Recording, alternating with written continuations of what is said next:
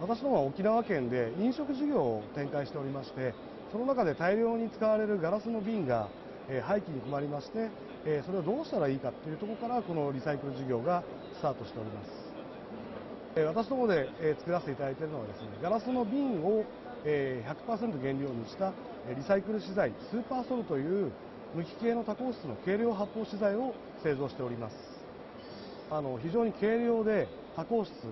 それから排水性保水性、えー、対薬品性などに優れた、えーまあ、万能な新しく生まれ変わった資材になります。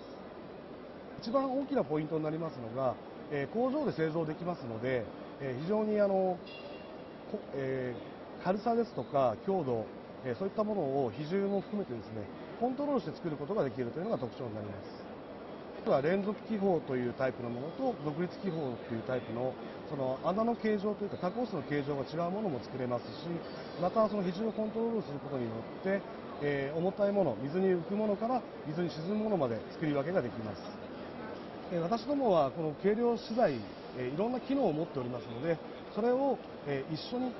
新しい素材と組み合わせてさらにまた、